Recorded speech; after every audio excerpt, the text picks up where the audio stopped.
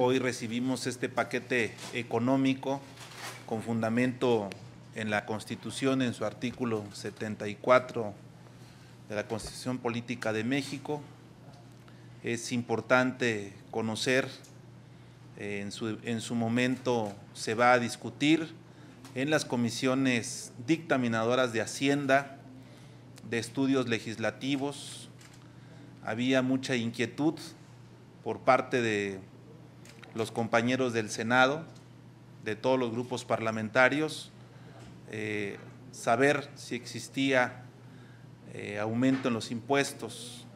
Nos congratulamos que se mantenga y se sostenga ese compromiso que tiene el gobierno de la República, el gobierno de México.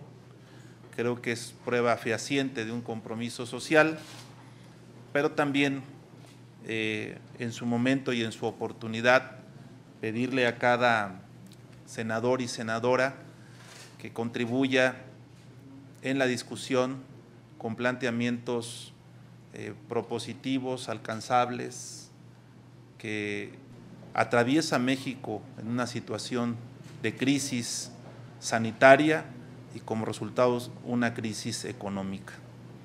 Por eso celebramos que, hoy nos presenten en este evento protocolario llévele un mensaje al secretario de Hacienda, ojalá y el siguiente año pueda darse el tiempo él de estar en este Senado de la República.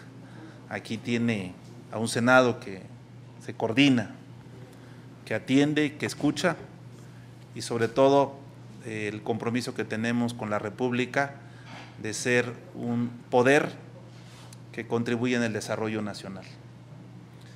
De mi parte, les agradezco a cada uno de los integrantes de la Comisión de Hacienda acompañarnos en este evento protocolario. Entiendo que van a tener mucho trabajo en los próximos días y pues bueno, ahí será el momento de, de liberar este paquete económico. Muchas gracias y muy buenas tardes a todos.